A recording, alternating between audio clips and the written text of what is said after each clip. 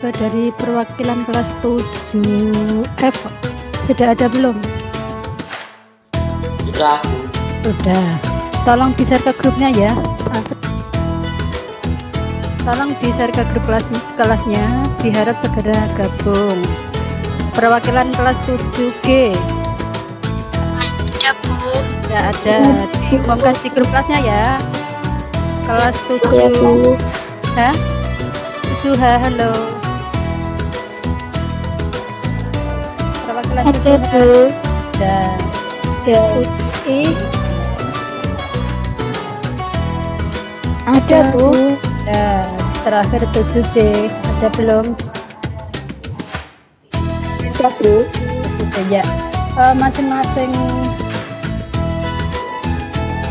kelas dimohon mengumumkan di grup kelasnya masing-masing agar segera gabung. Ini baru 48 yang gabung dari kurang lebih 150.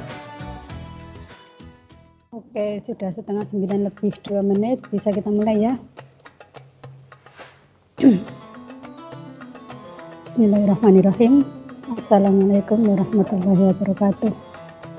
Waalaikumsalam warahmatullahi wabarakatuh. Waalaikumsalam warahmatullahi wabarakatuh. Alhamdulillahirabbil alamin. Wassalatu wassalamu ala asrafil anbiya'i wal mursalin wa ala alihi wa ashabihi ajma'in. Allahumma salli ala sayyidina Muhammad wa ala ali sayyidina Muhammad. Rabbi israh li sadri wa yassir li amri wa hlul 'uqdatam min lisani yafqahu qawli amma ba'du. Alhamdulillahirabbil alamin. Puji syukur kita panjatkan kehadirat Allah Subhanahu wa taala pada pagi hari ini kita masih diberi kesempatan, masih diberi nikmat sehat, nikmat iman, sehingga pada pagi hari ini kita bisa melaksanakan kewajiban kita sebagai kewajiban kalian sebagai siswa-siswi SMP Negeri 1 Anak Putri yang dalam hal ini uh, untuk menyambut bulan Ramadan. Untuk menyambut atau dalam rangka masuk bulan Ramadan kita mengadakan tausiah. Sehat semua anak-anak. Alhamdulillah. Alhamdulillah. Masih semangat. Semangat puasa. Masih, masih. Masih, Bu. Hari ini tadi ada yang tidak sahur.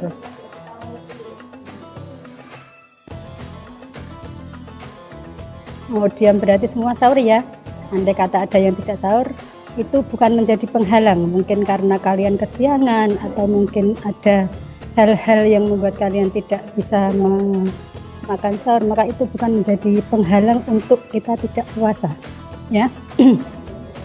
Eh, Oke, pada pagi ini sebelum kita melanjutkan lebih dulu mari kita berdoa agar apa yang kita lakukan pada hari ini mendapat ridho dari Allah Subhanahu wa taala. Berdoa mulai.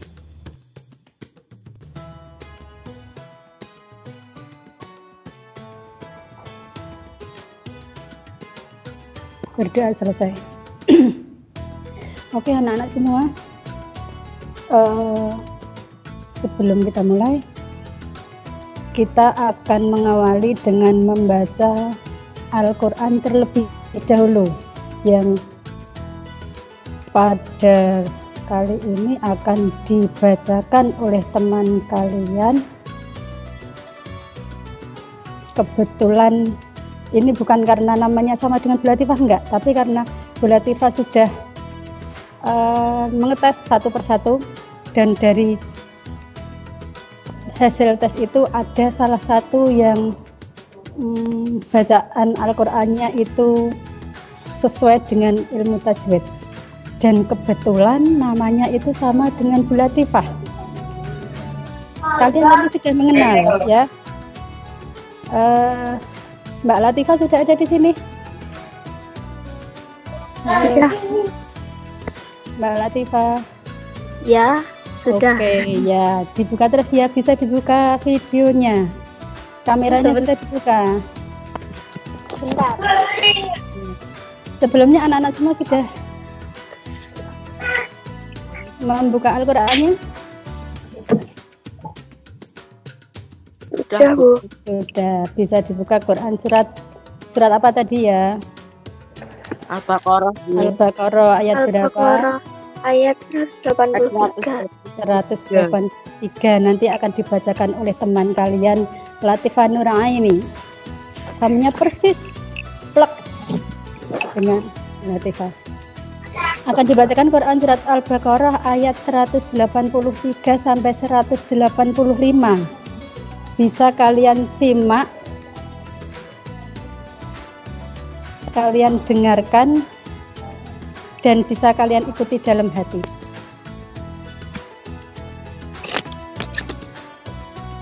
Oke, sudah siap Mbak Latifah? Siap. Bisa dimulai. Oke, saya mau- أعوذ بالله من الشيطان الرجيم بسم الله الرحمن الرحيم يا أيها الذين آمنوا كتب عليكم الصيام كما كتب على الذين من قبلكم لعلكم تتقون.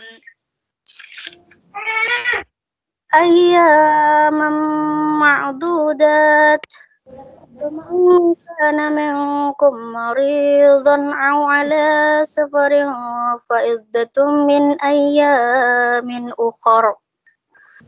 وعلى يكونه فدية طعام مسكين.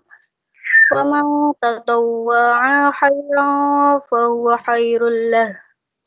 وأن تصوموا خير لكم إن كنتم تعلمون.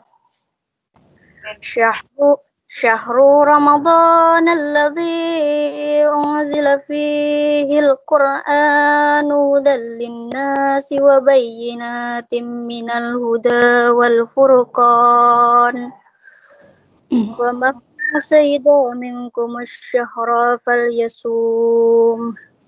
ومن كان مريضا أو على سفر فعدة من أيام أخر يريد الله بكم اليسر ولا يريد بكم العسر. ولتكملوا العزة ولت- ولتكبروا الله على ما هداكم ولعلكم تشكرون. kun kau.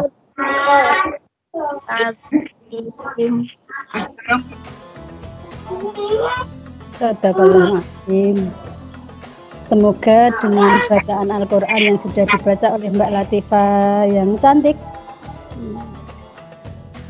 uh, akan menambah keimanan kita, menambah ketakwaan kita kepada Allah Subhanahu wa taala. Untuk selanjutnya karena Mbak Latifa itu merupakan kelas 7 7 apa Mbak? 7E. Nah, bisa ikut bisa ikut melanjutkan ikut di sini atau kalau ingin mengikuti kelas kelas Mbak Latifah sendiri silahkan bisa live. Ya?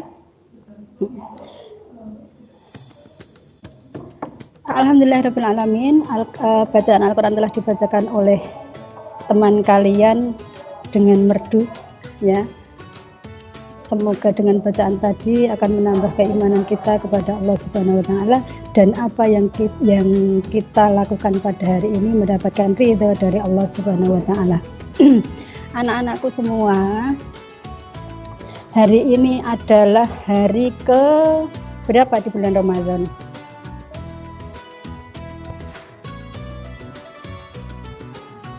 Sok ngitung-ngitung enggak? Ini Lima, sudah Bu. sampai oh hari kelima.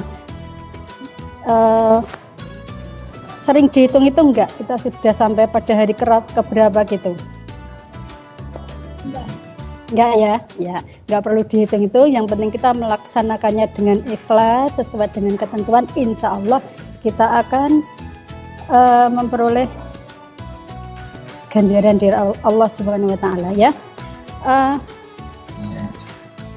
menghadapi perhelatan akbar ini kita bulan Ramadan ini kita katakan sebagai perhelatan akbar ya karena apa di bulan Ramadan ini adalah merupakan salah satu salah satu bulan yang luar biasa dari 12 bulan yang ada. Nah, men menghadapi bulan Ramadan ini ada sebuah hal yang harus kita miliki. Jadi kita tidak kita tidak boleh sembarangan mengikutinya, tidak sembarangan melaksanakannya. Ada ya. hal yang harus kita miliki. CCC yaitu ilmu. maaf pembicaraan. Ya. ya. Saya izin live ya. Oke, ya nggak apa-apa. Silahkan. Kasih.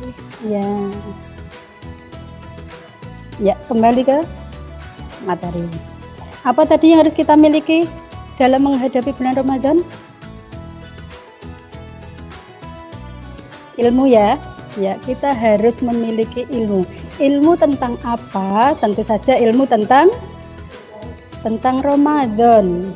Kita tidak boleh sembarangan melaksanakan puasa, kita tidak boleh sembarangan melakukan ibadah itu tanpa ilmu. Nah, pastikan ilmu kita tentang amalan dan hal-hal tentang Ramadan itu telah komplit.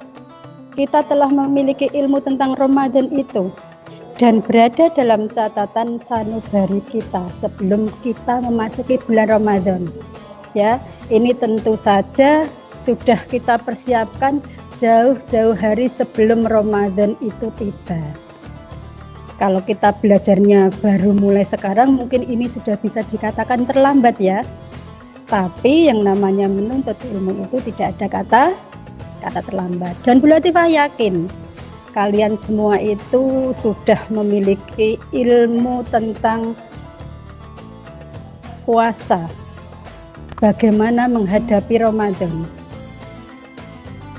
Ya, karena e, meskipun mungkin ada dari kalian yang ilmunya baru separuh-separuh atau ilmunya belum begitu begitu komplit, maka kita tidak boleh berhenti begitu saja dalam mencari mencari ilmu.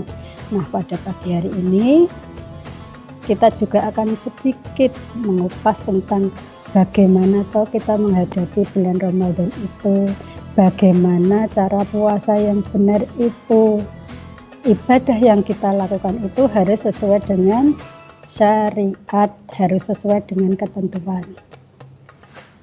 Tadi telah dibacakan uh, Quran Surat Al-Baqarah ayat 183 Latifah yakin kalian semua sudah hafal. Ya. Di sana dikatakan ya ayyuhalladzina amanu. Ayat ini ditujukan kepada siapa? Ayat ini ditujukan kepada orang-orang yang beriman. Kalian semua beriman toh? Ya, maka sebagai orang yang beriman kita merasa uh, kita merasa bahwa kita sudah terpanggil di ayat ini Hai orang-orang yang beriman, ada perintah apa tuh di dalam ayat ini? Ya. Kutiba alaikumusiyam diwajibkan atas kamu untuk berpuasa. Nah, kita sudah merasa kita sebagai orang yang beriman, maka kita harus perhatikan ada perintah apa. Uh, ibaratnya gini, ketika ada penjual bakso, Alah poso-poso kok yang ngomongin bakso ya. Nggak apa-apa, masih pagi nggak nggak begitu tergiur ya. ya. Ketika ada penjual bakso lewat, kemudian dipanggil oleh calon pembeli, Bang, tukang bakso, merasa terpanggil kan? Maka tukang bakso itu akan memperhatikan loh siapa yang memanggil saya, ada apa memanggil saya, Nah, begitu saya beli baksonya. Nah, berarti ada ada isyarat apa dalam uh, panggilan tersebut? Sama dengan ini Quran surat Al-Baqarah ayat 183 tadi. Ya ayyuhalladzina amanu, hai orang-orang yang beriman, kita merasa oh kita dipanggil. Ada perintah apa? Kenapa kita dipanggil? Ternyata ada perintah untuk puasa. Kutiba alaikumusiyam, diwajibkan atas kamu berpuasa kama kutiba alal ladzina min qablikum sebagaimana telah diwajibkan terhadap orang-orang sebelum kamu. Tentu saja umat-umat terdahulu. Jadi kita diwajibkan puasa sama dengan perintah terhadap orang-orang terdahulu. Agar apa? La'alakum tatakun. Tujuan kita diperintahkan untuk puasa adalah supaya kita bertakwa. Nah sekarang apa toh takwa itu? Ada yang tahu nggak takwa itu apa? Yo yang tahu silakan buka mikrofonnya, silakan dijawab. Salah nggak apa-apa, nggak akan dimarahi. Nggak ada yang tahu. Apa mau ngisen? Oh iya. Ternyata nggak ada ya. Oh iya, siapa ini? Zahwa, Siapa? Zahwa, Zahwa. Dari kelas berapa, Mbak? 7G. 7G ya. Coba apa arti takwa itu? Takwa adalah sikap yang mempercayai dan meyakini adanya Allah Subhanahu wa taala yang terwujud dengan cara menjauhkan diri dari semua larangannya dan mematuhi semua perintahnya. Betul sekali. Ya. Eh, intinya gini, takwa itu kita menjalankan perintah Allah dan menjauhi segala larangannya. Itu inti dari dari takwa. Ya. Kembali lagi ke ilmu Ramadan tadi. Eh, gini, kenapa kita harus tahu ilmu tentang Ramadan? Karena eh, konsep agama kita sebagaimana diterangkan dalam hadis riwayat Imam Al Bukhari ada hadis yang mengatakan artinya gini ilmu il, gunakan ilmu sebelum berbicara dan beramal sebelum kita bicara dan beramal, beramal ilmu yang diutamakan. Ilmu dan amal adalah dua sejoli yang tidak bisa dipisahkan. Jangan coba-coba memisahkan antara ilmu dengan amal. Sebab kenapa? Sebuah amal itu jika dikerjakan tanpa ilmu akan sia-sia. Ingat ya, amal jika dikerjakan tanpa ilmu akan sia-sia. Paham maksudnya? Artinya apa? Jika kita akan melakukan suatu perbuatan, kita harus tahu ilmunya. Contohnya gini, tukang cukur. Kita pengen menjadi tukang cukur kita tidak boleh asal-asalan nyukur orang tanpa tahu ilmunya. Kalau kita nyukur orang tanpa tahu ilmunya, apa yang terjadi? Ya, mesti anak sing kene petak yang sini masih kena ya, ya. Jadi meskipun hanya sekedar sebagai tukang cukur kita harus punya ilmunya. Bukankah seorang dokter juga harus belajar belajar dulu sebelum praktek? Ya, jadi apa pun pekerjaan kita, kita harus mempunyai ilmunya. Sebaliknya begitu. Jika kita punya ilmu tapi tidak kita amalkan, juga akan sia-sia. Kalian punya ilmu tentang membaca Al-Qur'an yang baik dan benar. Pinter membaca Al-Qur'an ya. Tapi kalau tidak kalian amalkan dalam kehidupan kalian sehari-hari, sia-sia. Kamu sudah belajar sampai pinter sia-sia. Ya, karena ilmu yang kita dapatkan itu harus kita amalkan. Ya. karena apa? Tujuan Allah menciptakan manusia di muka bumi ini adalah untuk untuk beribadah. Wa ma khalaqtul jinna wal insa illa liya'budun. Ada yang tahu artinya? Surat Az-Zariyat ayat 56. Dan tidaklah aku, aku Allah menciptakan jin dan manusia kecuali untuk beribadah. Jadi tujuan kamu, tujuan kita semua diciptakan ke dunia ini adalah untuk beribadah, untuk menyembah Allah. Nah, segala perbuatan yang kita lakukan sehari-hari, kita harus berusaha agar menjadi, agar dapat dinilai oleh Allah sebagai sebuah ibadah yang tentu saja akan mendapat pahala dari dari Allah. Maka penting ya kita harus tahu ilmu tentang Ramadan untuk menghadapi atau untuk menjalankan semua perbuatan ibadah.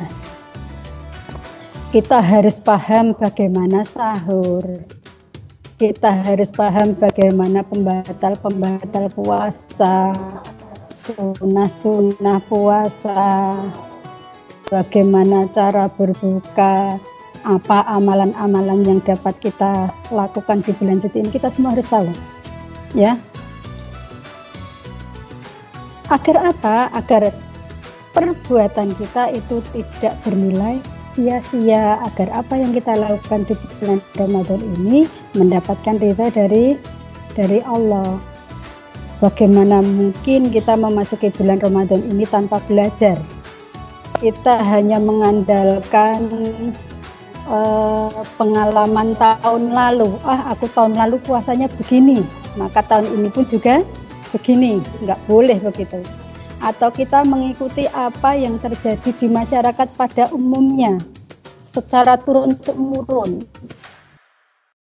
simbah saya dulu puasanya begini maka saya juga puasanya seperti puasanya simbah apakah kita tahu puasa simbah-simbah kita itu benar atau tidak Hmm. Beruntung kalau puasanya benar, kita ikut puasa-puasanya simbah-simbah kita, orang-orang tua kita. Kalau mereka benar, kita beruntung. Tapi bagaimana kalau mereka salah? Apa yang terjadi? Dan kita akan jadi sia-sia. Maka kuncinya apa tadi? kita harus menghadapinya, kita harus melakukannya dengan dengan ilmu. Ya. Ingat lihat Quran uh, firman Allah di dalam Quran surat Al-Isra ayat 36. Al-Qur'annya masih ada di depan kalian masing-masing? Ayo sekarang silakan Quran surat Al-Isra ayat 36. Latifah juga buka. Quran surat Al-Isra itu ada di Quran surat ke-17 ayat 36 Tidak. Cuma mungkin belum ketemu. Sudah ketemu belum? Sudah. Belum. Oh iya, sudah. Belum. Ya sudah. Ada yang berani membaca? Ada yang berani membaca? Ya paling nggak baca artinya saja. Ya berani Bu. Ya, siapa ini? Di dalam Quran surat Al-Isra ayat 36, di situ dikatakan, dan janganlah kamu mengikuti sesuatu yang tidak ketahui. Oke, sopo nak jago kluruk barang. Oh, udah mati ya. Saya ulang ya. Dan janganlah kamu mengikuti sesuatu yang tidak kamu ketahui karena pendengaran, penglihatan, dan hati nurani itu semua akan dimintai pertanggungjawaban. Jelas toh? Nah, kita tidak boleh mengikuti sesuatu itu tanpa ilmu tentangnya. Karena apa yang kita lakukan itu akan dimintai dimintai pertanggungjawaban. Ya, nah pada kesempatan kali ini nanti masih ada waktu setengah jam kita akan mengupas tuntas, ya, kita akan mengupas tentang ilmu puasa yang kita jalani di bulan Ramadan ini. Mungkin ada beberapa hal yang kalian belum paham. Setelah kita mengikuti ini nanti menjadi paham dan bisa kita praktekkan di puasa-puasa hari berikutnya. Ya. Bulan Ramadan, bulan Ramadan ini tentu saja bulan yang kita nanti. Bulan yang kita tunggu-tunggu kedatangannya. Bulan yang kita idam-idamkan. Kenapa kita tunggu? Kenapa kita nanti? Karena pada bulan itu di mana pintu surga dibuka oleh Allah Subhanahu wa taala.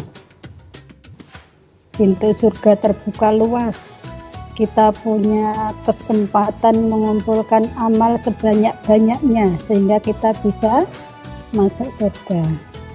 Dan pintu neraka ditutup rapat-rapat. Bulan di mana kita punya kesempatan untuk masuk surga. Tentu saja melalui pintu yang namanya pintu apa?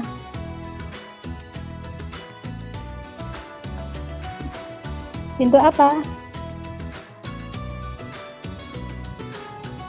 Pintu royan ya bulan yang sangat luar biasa. Dan klimaksnya nanti ada klimaksnya dalam satu bulan itu yaitu ketika ada satu malam di mana malam tersebut lebih baik daripada seribu bulan.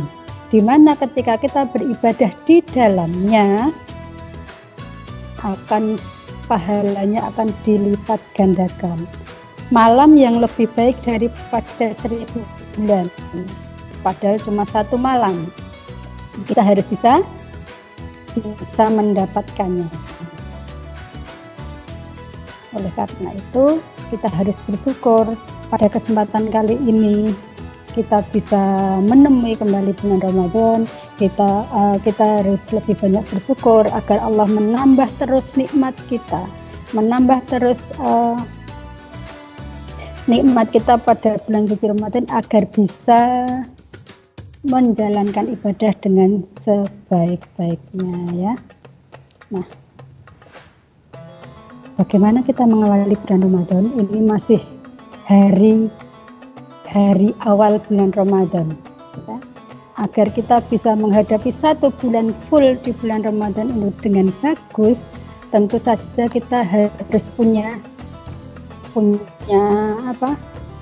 Punya star yang bagus. Star niatnya niat di awal harus yang bagus ya.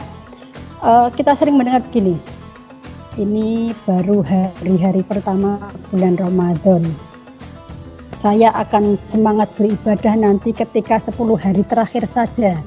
Karena katanya di 10 hari terakhir itu adalah hari di mana uh, ada satu hari tadi yang saya sebutkan tadi hari yang istimewa. Ada namanya Lailatul Qadar. Kita sering mendengar begitu. Artinya apa? Di awal-awal kita ogah-ogahan kita males-malesan. Niatnya somben ibadah diakai diperbanyak ketika 10 hari terakhir saja itu nggak benar ya. Anak-anak semua gini memang benar puncak Ramadan itu ada di akhir ya. Lailatul Qadar itu ada di 10 hari terakhir tapi bukankah star yang baik itu sangat menentukan hasil akhir? Ya star yang baik itu sangat menentukan hasil akhir. Kalau di awal saja kita ogah-ogahan sudah bisa dipastikan di akhir pun juga ogah-ogahan. Ya biasanya begini uh, amal soleh itu diibaratkan bisa dikatakan sebuah perlombaan kita sedang berlomba-lomba ini ya dan biasanya orang yang lomba para juara tersebut terbiasa memiliki awal yang bagus, terbiasa memiliki start yang bagus untuk mengendalikan jalannya perlombaan. Ya, orang yang lomba itu pasti awalnya dia punya rencana yang bagus agar bisa memenangkan perlombaan. Ya, dan layaknya sebuah perlombaan, memang start bukan penentu posisi kita di podium. Ketika start kita bagus, bukan berarti kita di akhir kita akan menang tidak tetapi setar sangat uh, menentukan apa ya uh, alur perlombaan tersebut.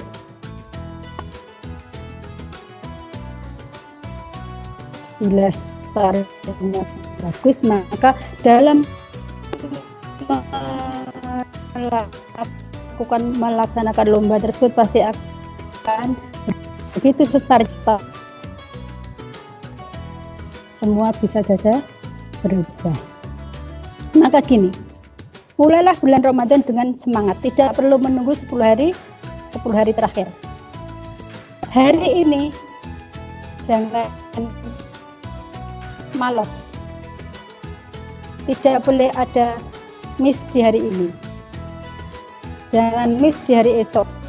Jangan malas di hari berikutnya. Karena kemalasan kita di hari-hari pertama hari kedua, hari ketiga dan seterusnya itu akan merubah alur perlombaan kita tadi. Sebaliknya gitu, sebelumnya gini, jika kita berhasil mengisi hari pertama bulan Ramadan dengan amal soleh, amal soleh hari pertama akan memberi semangat amal soleh hari kedua, amal soleh hari kedua akan mengundang amal soleh di hari ketiga, begitu seterusnya sampai di akhir Ramadan dan kita bisa menutup akhir Ramadan dengan husnul khatimah. Setuju? Setuju ya? Ya, maka mari kita mulai se mulai awal Ramadan ini dengan semangat yang tinggi. Kita mulai dengan amal-amal soleh yang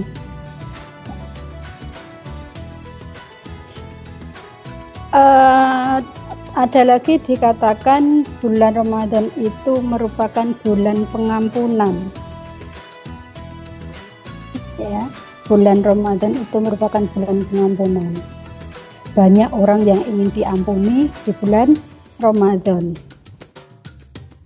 Pengen nggak kalian diampuni di bulan Ramadan? Dosa-dosa kalian diampuni di bulan Ramadan? Pengen ya? tentu saja pengen. pengen nah sekarang bagaimana cara? Ya pengen. Bagaimana caranya? Nah, ketika kita punya keinginan, maka kita harus berusaha. Nah, ketika kita ingin diampuni di, di bulan Ramadan, ada caranya, ada taktiknya, ada jurus situnya. Bagaimana? Uh, di dalam hadis dikatakan man soma Ramadana imanan wahtisaban ghufiralahu ma taqaddama min dambi Pernah dengar hadis tersebut? Barang siapa yang berpuasa di bulan Ramadan dengan iman dan ikhtisab maka Allah mengampuni dosa-dosanya yang telah lalu. Artinya apa? Agar dosa kita diampuni ada dua syarat. Syaratnya iman dan ikhtisab. Apa itu iman? Iman adalah yakin, percaya, ya, yakin. Berarti apa? Kita yakin bahwa Allah yang memerintahkan kita untuk berpuasa. Bukan yang lain. Kita puasa karena perintah dari Allah. Ketika kita melakukan puasa itu dengan kesadaran hati bahwa ini merupakan perintah dari Allah, maka kita tidak mengharapkan apa pun selain mengharapkan ridho dari dari Allah. Tidak pengen mendapatkan pujian dari orang lain. Pakai puasane elok loh, ya tidak. Tapi apa puasa kita karena Allah Subhanahu wa taala.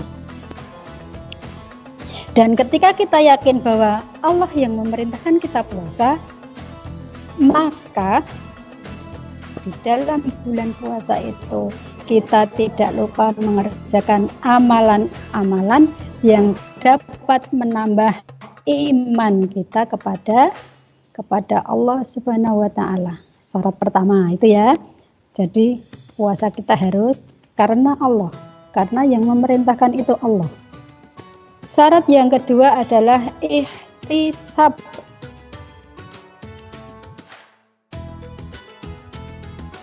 Apa itu ikhtisab? Ikhtisab itu gini, seseorang ketika melakukan puasa karena senang. Dia senang melakukan puasa. Rela. Orang itu kalau rela akan melakukan sesuatu hal dengan senang hati. Bagaimana tandanya senang? Dia puasa dia uh, merasa mempunyai kesempatan untuk menambah ketakwaan kepada Allah Subhanahu wa taala. Ya. Dia puasa karena dia akan menggunakan kesempatan untuk menambah ketakwaan kita kepada Allah Subhanahu wa taala. Untuk menambah keimanan kita kepada Allah. Sehingga konsep puasa yang benar itu kita hanya beribadah karena hanya mau diperintah dan mau dilarang-larang oleh Allah Subhanahu wa taala. Puasa kita adalah puasa yang benar. Ya. Kita tidak makan karena itu dilarang oleh Allah, bukan dilarang oleh siapa. Kalau kita puasa karena orang lain, misalkan karena disuruh oleh orang tua kita, mungkin bisa jadi ketika tidak ada orang tua kita akan secara diam-diam makan. Tapi kalau puasa kita karena Allah maka kita akan melaksanakan puasa dengan dengan benar. Ikhtisab itu juga ketika dia puasa hatinya senang. Senangnya minta ampun. Bukan gini habis sahur sholat subuh terus tidur. Habis uh, tidur jam 7 bangun nilai jam. Jam berapa ini ya? Ah baru jam 7 habis sahur baru 3 jam terus nilai jam. Merem lagi.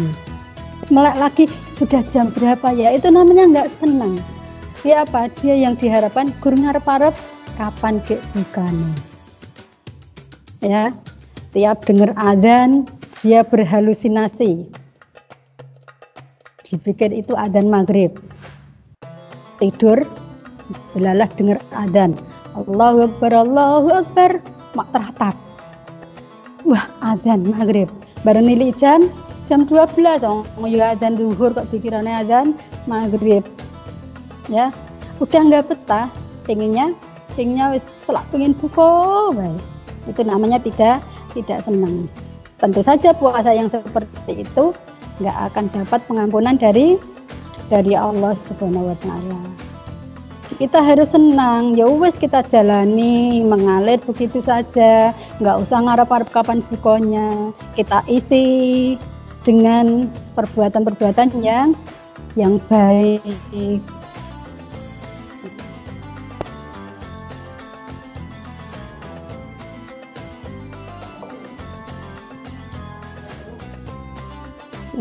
Itu uh, diibaratkan gini, ketika kita senang menghadapi, kita senang menjalankan puasa itu bisa diibaratkan ketika kita senang ingin uh, akan menyambut datangnya hari raya Idul Fitri. Seneng kan? Mesti ya sabar. Seneng. Semangat banget. Sama ketika kita puasa kita melaksanakan dengan dengan senang. Oke, untuk kali ini akan bulat Riva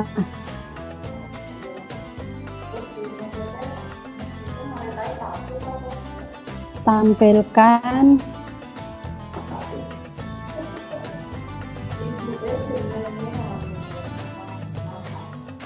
Nah, sudah bisa terlihat PowerPoint dari layar sudah.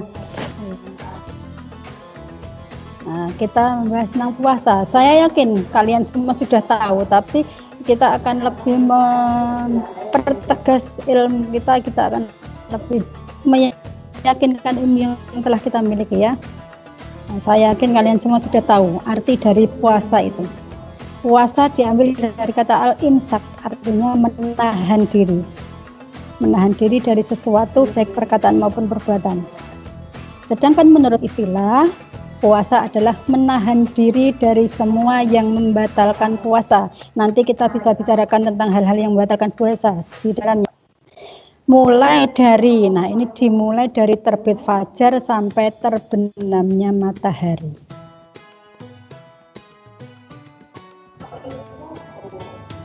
Ya, mulai dari terbit fajar sampai terbenamnya matahari. Mengenai waktu ini, dulu ketika perintah puasa pertama kali puasa itu dimulai ketika seseorang itu sebelum tidur. Ya puasa dimulai orang itu sebelum tidur. Artinya apa? Ketika orang tersebut sudah tidur maka dia puasa seharian sampai waktu maghrib sampai terbenamnya matahari. Itu dulu Bahkan ada cerita dulu ada yang namanya sahabat Nabi bernama Kois. Beliau itu melaksanakan puasa, menjalankan puasa itu sampai pingsan. Pingsan ya. Kenapa? Karena gini. Misalkan tidurnya jam 9, maka sejak jam 9 itu dia sudah mulai puasa. Puasa sampai terbenamnya matahari jam 9 malam sampai maghrib. Nah, begitu waktu, masuk waktu maghrib, ternyata ketika Kois itu pulang dari kerja sampai rumah, ditanyalah istrinya, istriku, apakah ada makanan untuk buka puasa hari ini?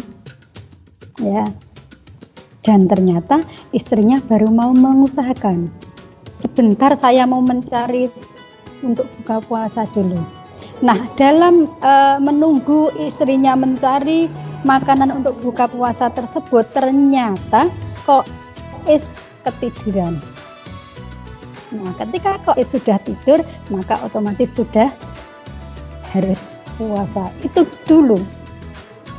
Ya, sampai-sampai karena belum buka seharian, uh, sahabat Nabi yang bernama Kos ini pingsan. Nah setelah itu ada perubahan perintah dalam puasa. Puasa dimulai dari terbit fajar sampai terbenamnya matahari. Jadi malam bisa bisa makan, bisa berbuka meskipun sudah tertidur. Ya. Oke, lanjut. Nah, tujuan berpuasa ada berbagai macam tujuan orang berpuasa. Ada yang bilang untuk menjaga kesehatan. Aku puasa agar aku sehat. Atau untuk merampingkan tubuh karena dia sudah merasa terlalu gemuk, dia diet, dia tengah puasa. Tidak, itu bukan tujuan yang yang benar. Tujuan yang paling tepat adalah ini untuk meraih takwa. Ya, tujuan puasa adalah untuk meraih takwa, bukan untuk yang lain. Ya, kalau andai kata dia sehat karena berpuasa itu merupakan keuntungan yang lain, bukan urusan. Kalau misal dengan puasa dia menjadi langsing, nah itu adalah keuntungan lain dari puasa. Tapi jangan pernah kita bertujuan puasa itu adalah untuk yang lain selain meraih takwa.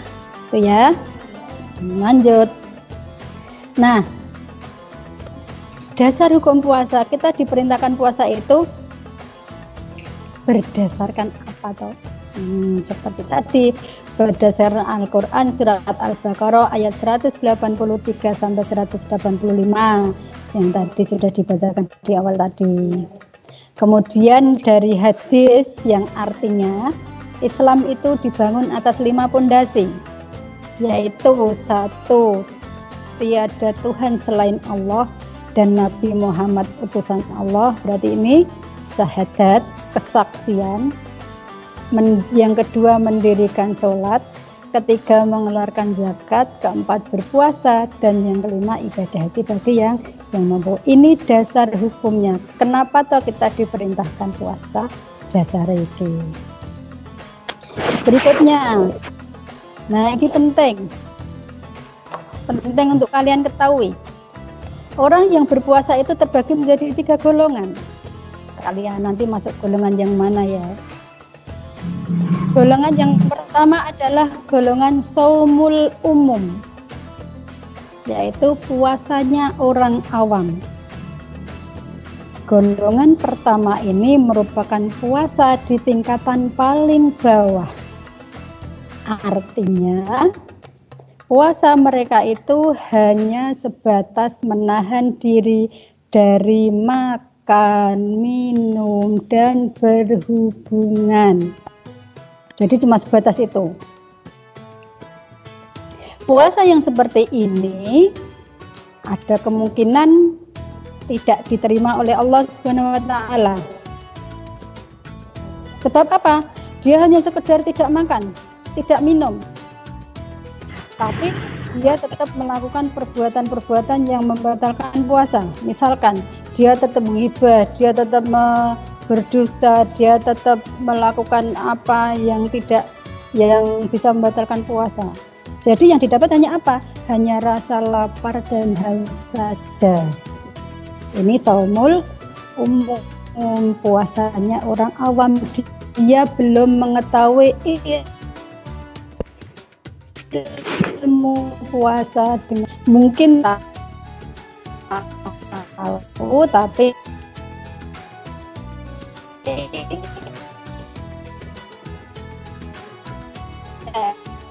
di laksana. Oh, mereka adalah orang yang ketika puasa mereka menjaga pandangan mereka. Mereka menjaga lisan mereka menjaga penglihatan mereka menjaga pendengaran mereka dan menjaga anggota-anggota tubuh yang lain dari melakukan perbuatan dosa. Jadi selain menahan lapar, menahan haus, dan menahan untuk tidak berhubungan, dia juga bisa menahan atau menjaga anggota tubuhnya untuk tidak melakukan perbuatan dosa. Golongan yang ketiga adalah saumul khususil khusus. Lebih-lebih tinggi lagi berat ini tidak semua orang bisa bisa melakukannya. Ini puncaknya orang-orang yang berpuasa. Jadi level tertinggi orang-orang yang berpuasa. Di mana orang yang level puasanya itu pada titik gini, uh, mempuasakan hati. Jadi tidak hanya tubuh saja, tidak hanya sekedar menahan lapar, haus dan sebagainya, tapi hatinya juga dipuasakan. Artinya apa? Uh, dia menahan hati dia untuk tidak melakukan uh, ambisi-ambisi ke dunia. Dia menjauhkan diri dari pemikiran-pemikiran yang bisa menjauhkan diri dari Allah Subhanahu wa taala mereka ini sudah bukan lagi sekedar kapan waktu sahur. Bukan hanya bicara tentang saya sudah membaca Al-Quran berapa juz. Bukan hanya sekedar saya bisa menahan uh, lapar dan haus. Tetapi semuanya sudah tercover. Dia bisa menahan hatinya. Dia sudah bisa menjaga hatinya dari hal-hal yang tidak baik. Ya dan ini adalah konsep agama kita yaitu konsep agama kita ada tiga yaitu Islam setelah Islam iman. Setelah iman adalah adalah ihsan. Ya. Ini berat sekali.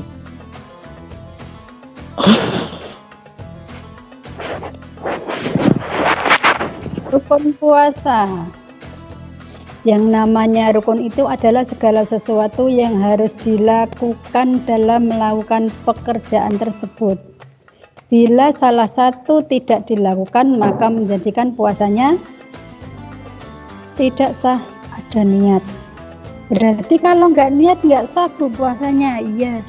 Tetapi niatnya itu tidak harus dibaca secara keras-keras biasanya nek bar taraweh kae do banter-banteran maca niat.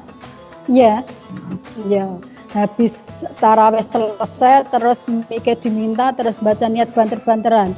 Nawa itu somahudin. Ada yang begitu? Ada. Di sini ada. Ya tidak begitu niatnya ya. Yang pasti kita sudah berniat besok puasa atau dengan sahur saja dengan makan sahur itu sudah menjadi niat kita untuk berpuasa. Ya jadi yang namanya niat itu tidak perlu diucapkan. Niat datangnya dari hati. Rukun yang kedua adalah menahan diri dari makan minum dan hubungan seksual. Ini tentu saja berhubungan seksual di siang hari dan hanya berlaku bagi suami istri ya. Suami istri aja tidak boleh apalagi yang bukan suami istri. Gitu ya. Kenapa dikasih tanda bintang gini bila sengaja melakukan ini sengaja ya maka dia harus membayar denda membayar kifarat Tapi bila dilakukan dengan tidak sengaja, berarti itu ada ampunan. Ya, ada ampunannya. Bu, bu saya puasa.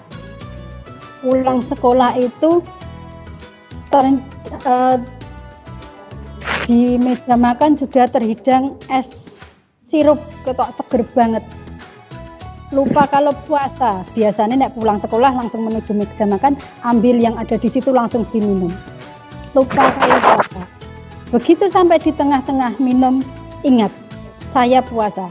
Batal nggak puasanya? Tidak batal asalkan segera dihentikan minumnya. Ya tidak batal asalkan segera dihentikan minumnya jangan alah nanggung kurang sidik entah entek terus dihabiskan. Enggak. Kalau gitu jadi jadi batal. Bisa jadi itu malah menjadi jadi rezeki rezeki kalian dalam puasa. Neng yojo terus melalui ya. Ya tidak boleh terus uh, pura-pura uh, lupa. Bicara mengenai ini hubungan seksual di siang hari ini ada kisah ini kisah loh ada kisah pada masa Rasulullah ketika Rasulullah sedang duduk-duduk bersama para sahabatnya Rasul itu kalau sedang uh, ada waktu senggang beliau selalu duduk-duduk bersama sahabatnya bukan untuk ngerumpi bukan untuk ngobrol enggak tapi untuk untuk membicarakan hal-hal yang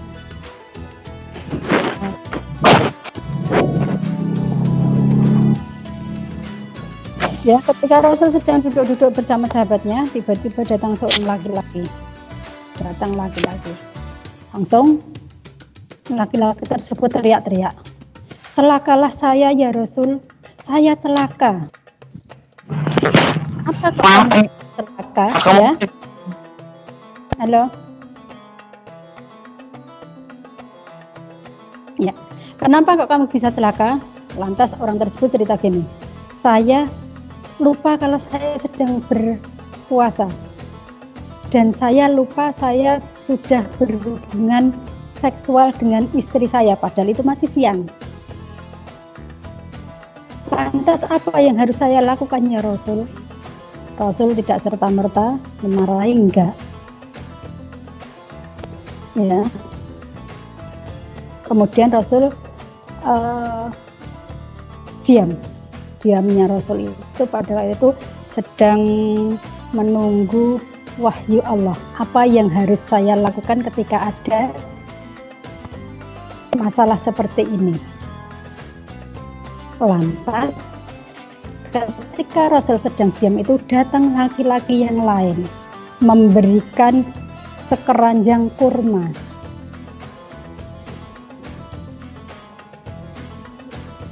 ya memberikan sekeranjang kurma. Nah ketika Rasul diberikan sekeranjang kurma itu langsung. Kurma ini bentar belum belum sampai situ dulu. Bujuk baik berarti wah gini uh, laki-laki tadi disuruh gini kamu harus memerdekakan seorang hamba sahaya laki-laki tersebut mana mungkin saya bisa memerdekakan seorang hamba uh, memerdekakan hamba saya? Rasul saya tidak bisa. Bila tidak bisa kamu berpuasa dua bulan berturut-turut. Puasa satu bulan saja saya tidak mampu menahan untuk berhubungan seksual dengan istri saya ya Rasul. Oh berarti tidak bisa. Maka yang ketiga tadi nah, ketika Rasul diberi kurma tadi orang tersebut eh, kamu harus bisa memberi makan 60 orang fakir miskin saya saja makan sehari-hari kekurangan Rasul mana mungkin saya bisa memberi makan 60 orang fakir miskin. Nah, baru kemudian kurma yang diberikan laki-laki tadi diberikan kepada orang yang melanggar hukum puasa tadi. Ini berikan kepada fakir miskin di sekitarmu. Kemudian laki-laki tersebut nganyang. Saya kira tidak ada orang sekitar saya yang lebih miskin dari saya ya Rasul malah saya yang butuh makanan itu. Maka apa e, jalan terakhirnya? Rasul memberikan kurma tersebut berikan kepada keluargamu. Nah, ini karena dia melakukan e, melanggar hukum puasa dengan tidak sengaja, dia tidak bisa melakukan kafaratnya, bahkan dia malah memperoleh kurma untuk keluarganya. Itu ya. Hmm, jadwalnya sampai jam berapa? Setengah sepuluh. Sampai setengah sepuluh ini sudah lebih. Mau lanjut atau sudah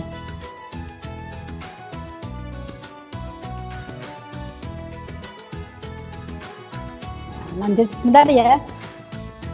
Ya uh, ini silakan silakan di buka buka-buka saja. Fase pembagian eh, pembagian Ramadan. Ada 10 hari pertama itu merupakan diturunkannya rahmat dari Allah. 10 hari eh, 10 kedua berarti hari ke-11 sampai 20 hari di mana diturunkan ampunan dari Allah dan di 10 hari terakhir hari ke-21 sampai 30 hari di mana manusia dibebaskan dari neraka.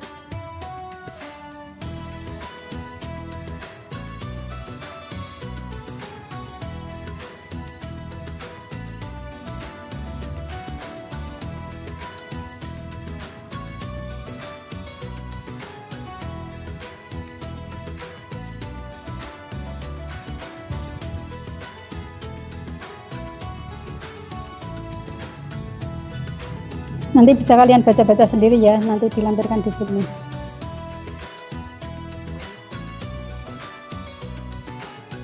Karena jadwalnya cuma sampai jam 9.30, ini sudah lebih dari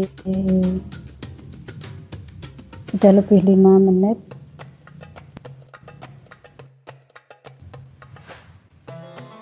Atau sebelum berlatih akhir ada yang bertanya dulu? Ada yang mau bertanya dulu?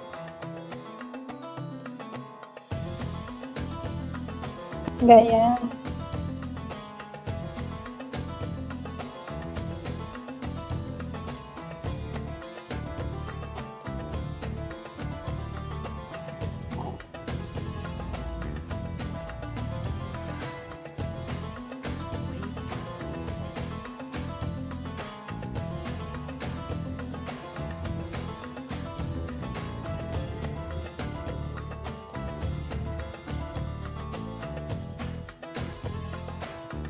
Ada ya nanti materi saya belajar pakai melalui WA grup atau melalui oh, uh, link yang lain untuk sementara untuk hari ini. Bu Latifah cukupkan sekian. Jangan lupa tetap jaga kesehatan patuhi protokol kesehatan semangat menjalankan ibadah puasa gunakan kesempatan satu bulan ini untuk lebih banyak beribadah mendekatkan diri kepada Allah semoga Ramadan tahun ini puasa kita diterima oleh Allah Subhanahu wa taala. Kita bisa memperoleh kemenangan yang hakiki dan menambah keimanan kita kepada Allah Subhanahu wa taala sehingga hidup kita lebih berkualitas lagi. Jadi ya, sebelum kita akhiri, mari kita tutup dengan bacaan kafaratul majlis. Bisa dibuka mikrofonnya semua. Dengan bacaan kafaratul majlis. Subhanakallahumma wa bihamdika asyhadu alla ilaha illa anta astaghfiruka wa atubu ilaik. Bila ada kesalahan dari kita bila tidak mohon maaf saya akhiri Assalamualaikum warahmatullahi wabarakatuh Waalaikumsalam warahmatullahi wabarakatuh. Waalaikumsalam warahmatullahi wabarakatuh. Waalaikumsalam warahmatullahi wabarakatuh.